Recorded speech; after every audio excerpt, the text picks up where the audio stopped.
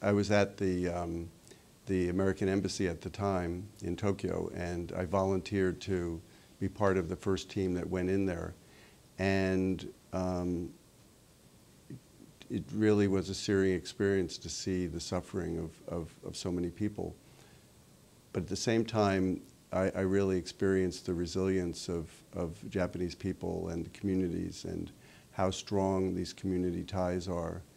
And, um, and to go back to Kobe now um, and see how wonderfully uh, it's been rebuilt and the vision that, that, the, that the people in Kobe um, showed in, in rebuilding and while respecting their history. And um, I think that was, that was really very meaningful to me. But um, the power of nature is, it's a, it's a frightening thing.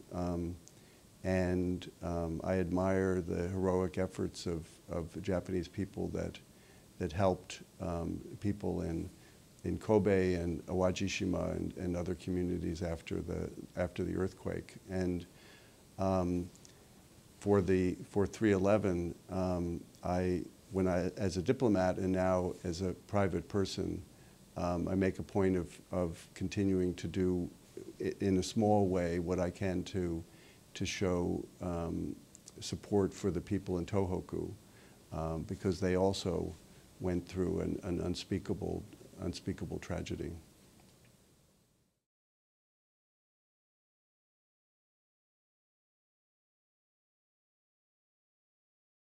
I really respect Ambassador Kennedy. She was uh, she's a wonderful uh, person and uh, a great public servant, and it was it was a great privilege to uh, work for her as her deputy, um, and for um, historic event in Hiroshima, um, it was an honor for me to be there to, to help organize the event and then to, to be there to witness, to witness this. And I'll cherish those memories for forever.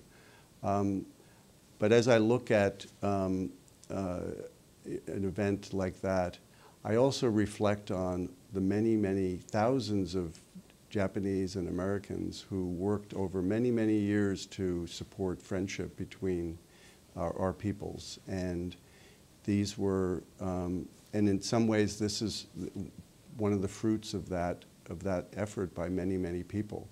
And as a diplomat, I had the opportunity to hear directly from people, both Americans and Japanese, of how their encounter with um, people you know, from the other country uh, enriched their lives, changed their lives. And uh, I've met people who, because of a kindness that was done to them um, many, many decades ago, they're still supporting exchange students or um, supporting charitable activities or uh, supporting uh, relationships between sister cities. And, and I find that um, very touching to, to hear those. So I think I, you know, I think it's important to, to honor as well all those people who have done so much over so many years.